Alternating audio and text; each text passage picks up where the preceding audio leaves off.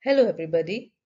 I'm going to upload a series of videos in which I'm going to teach you how to do rotary endodontics in a quick and a simple way. In this video, I'll be discussing the basics which every clinician needs to know. So let's go ahead and watch. Now the first question is, which file to choose? There is a continuous parade of new files in the market, all of them claiming to be superior in one way or the other. Now this can be very confusing to the clinician. The magic mantra is to be able to use the file system correctly following the basic principles of root canal preparation. It can be any one system. It is as simple as that. Now I'll be choosing one file system and I'll explain to you how to use it. The two features which always confuse a beginner are torque and speed. Now what are these? The cutting efficiency of a file is equally balanced between the torque and the speed delivered to the rotary file. Now let us understand each one. Torque, it is the force required to rotate the NiTi files. In simpler words, it is the force with which the file will cut the dentine. Now it is important that the saw torque is set as per the manufacturer recommendations, which is normally just below the limit of elasticity for each file. It is important to note that if the level of torque applied is greater than the torque at failure, that means the maximum torque it can tolerate, the instrument will fracture. It means that if the torque is too high, the chances of instrument fracture and breakage are more. Also, if the torque is low, then inefficient cutting is expected, so the torque should be right. Speed, it is the revolutions per minute for a rotating file. Follow the speed as per the recommendations. If the speed is high, the cutting efficiency is higher, but the chances of instrument fracture are more. And if the speed is low, inefficient cutting is expected. The torque and the speed are set on the endomotor before we start our canal preparation with rotary files. And these values are the ones which have been recommended by the manufacturer. Now how to proceed? First step is access cavity preparation. Next step is patency filing. That means negotiating the canals to be able to reach the apex easily. This helps to establish the patency of the canal. For this, we use 6, 8, 10 number files. Next step is pulp extirpation or removal. We use barbed broaches for this. We insert the broach inside the canal, rotate it and pull it out. With this, we are able to remove the pulp present inside the canal. Next step is working length determination. It can be done with help of apex locators or by using radiographic method.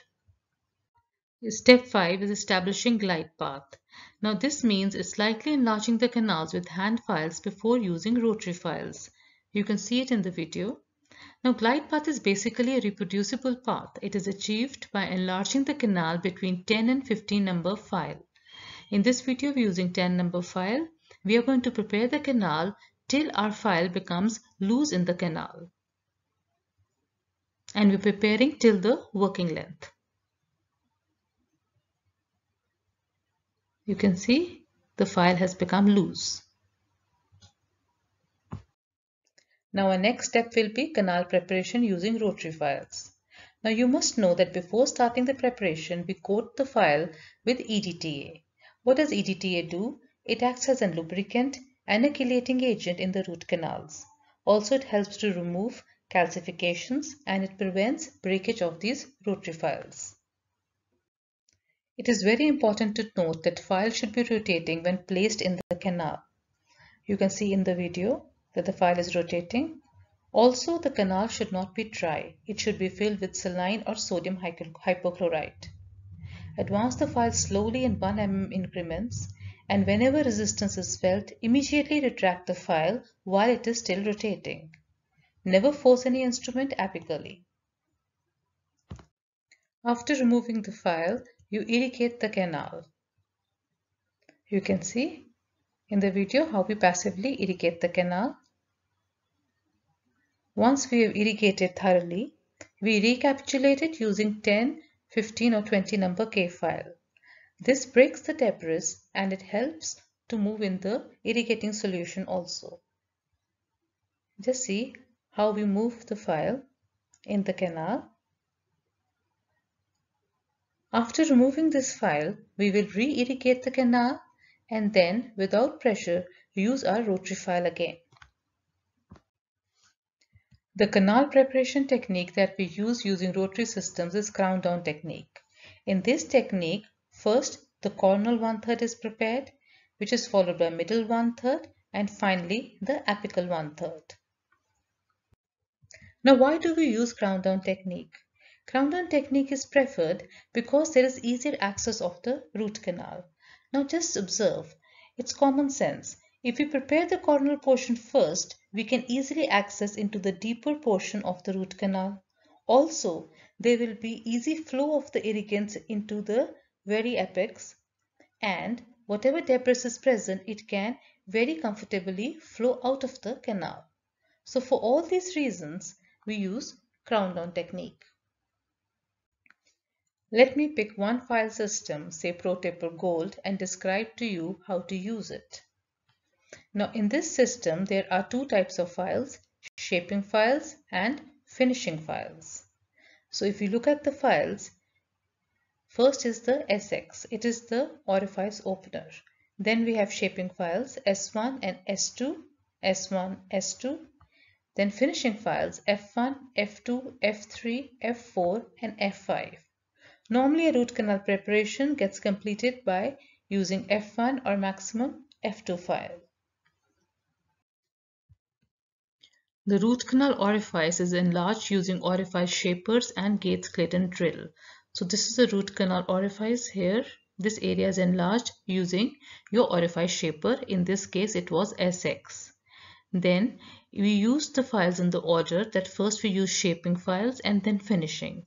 The shaping files, they will prepare the coronal two-third of the root canal from here till here.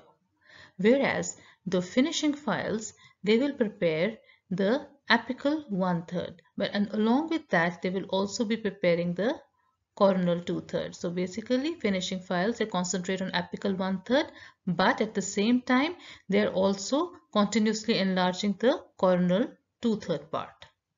So this way we get a very smooth and a tapered funnel. Let us discuss each file individually. The first one is S1. Now we take S1, we mark the working length on it and carry it to the full length to the apex. Now this file is designed in the manner although we have carried the file right till the apex but it will enlarge and prepare the coronal one-third of the canal. That means the cutting edges on the file are arranged in the manner that although it is carried to the entire length till the apex, but the maximum cutting will take place in the coronal one-third area. The next file to use is S2. Now again working length is marked on the file and it is carried to full length in the till the apex. Now the cutting edges are arranged in this file in a manner that it concentrates the cutting on the middle one-third of the root canal. Now at this point you must understand that although both S1 and S2 together are preparing coronal two-third, they also progressively enlarge the apical one-third. So that means that although they are concentrating on preparing coronal two-third of the canal, but at the same time some amount of preparation of the apical one-third is also taking place. Now after we have finished shaping the coronal two-third of the canal using shapers, we proceed to the apical one-third. We prepare that using the finishers. So we use F1, F2 or F3 which are finishing files and they are designed to prepare and enlarge the apical one-third of the canal. But remind you, at the same time, they're also progressively expanding and shaping the middle one-third. So in this way, we managed to create a smooth, tapering funnel-shaped root canal. Generally, it is seen that in the finishing files, only F1 is required. But sometimes we need to use F2 or maybe even F3. Now this decision is based on the canal curvature and the cross-sectional diameter of the root canal. Now these files are mostly used with the speed of 300 RPM, which is the manufacturer recommended speed. After the canal preparation is completed, the canals are dried with absorbent paper points. Such canal shapes are easy to fill utilizing the matching, matching Gutta cone. Now the master cone is chosen of the same size as the last preparation instrument. For example, if our last instrument was F1, we will choose F1 Gutta-percha cone. If it was F2, we will choose F2 Gutta-percha cone and so on. Now the canal is coated with the adequate sealer and Gutta-percha cone is placed in the canal. We take a radiograph. If the canal space is adequately filled, then we seal the canal.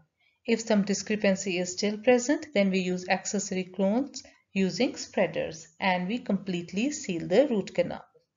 This way the root canal preparation is very easy to do and quick to perform. In this video, I gave a brief rundown of all the steps of rotary endodontics. Now in my next video, I will be giving you a practical demonstration of how to use the rotary files for canal preparation. Thank you.